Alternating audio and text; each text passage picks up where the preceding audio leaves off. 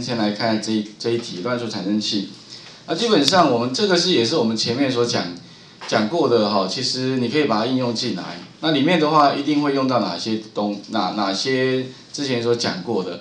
比如说呢哈，请输入预产生的乱数个数。那也就这个地方的话是 user 自己去填，比如说他填十个，那你就要跑出十个。啊，所以呢，它填入进去，你第一个要能够把它接收到。那接收到的界面部分的话，最简单的就是 scanner 嘛，对不对？哈，透过键盘，就比如说输入十，你就真的十，然后进来之后用 nextIn 把它读进来，或者用什么 JOption Pen。那将来如果你们用呃 Enjoy 里面，Enjoy 本身也有那个叫做 Edit Test，你也可以让它输入进去之后也是取得，反正这个前面的部分都一样，只是说你要取得 user 输入的值。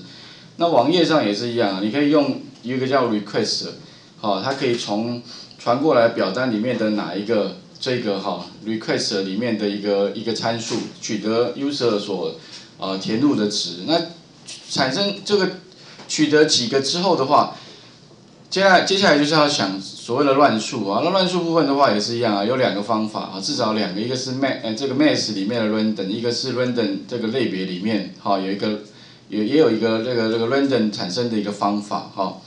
那这这些都可以哈，所以我们这边的话那比较简单，用 math 点 random，那产生之后的话，能够怎么样呢？在画面上显示出来，比如说输入十六，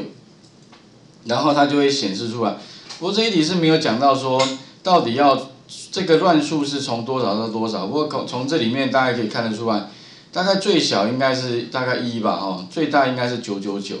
哈，这个里面没讲啊，不过。大概看起来应该最大好像到九九多少，所以基本上应该可以到九九九，因为它没有到四位数，所以是九九九。那最小是一，而且它这边格式也没讲到说一定要把它改为三位。不过当然这些题目都会变呐，将将来如果说各位啊去 interview 或者是面试或者是笔试的时候，也许会更改。那如果证照考试，那也也许题目也会变更。所以这个部分的话，你们也可以自己踹一下，就说哎，如果说这个地方。希望是三码的话，比如说填填入零零一到九九九的话，并且秀出来哈，然后呢，呃，这个地方要由小到大递增排序啊，所以这地方的话，你要能够怎么样？由小到大排序，那排序部分要怎么做哈？其实阵列本身有一个方法是可以直接排序的，但是如果说呢哈，题目规定说不能用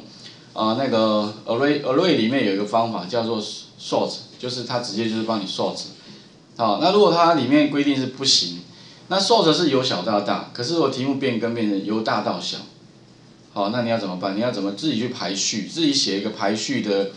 啊一一个一段一段这个程序哈，那这部分的话也可以思考看看，啊最后的话秀出来就类似像这样子，当然这个地方是秀在 console 里面的啊，那当然你也可以把它改成像呃 swing 的版本，就是 JavaScript 里面把它秀出来，哈，所以，大概是这样啊。这些其实基本上我们之前都教过。其实里面所用的像回圈、像那些 render 的方法，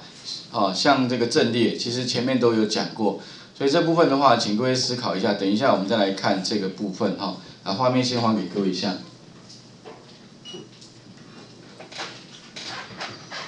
另外，当然解法也不止一种了哈，因为这个解法其实太多了，像。昨天讲的那一题哈，其实就不止一种解法。你当然你可以想得出来的，其实就可以用那个度回圈、while 回圈，甚至 for 回圈哈，各种方式都可以解得出来。只是说哪一种方式对你而言最好理解哈，那种逻辑每个人都不一样哦。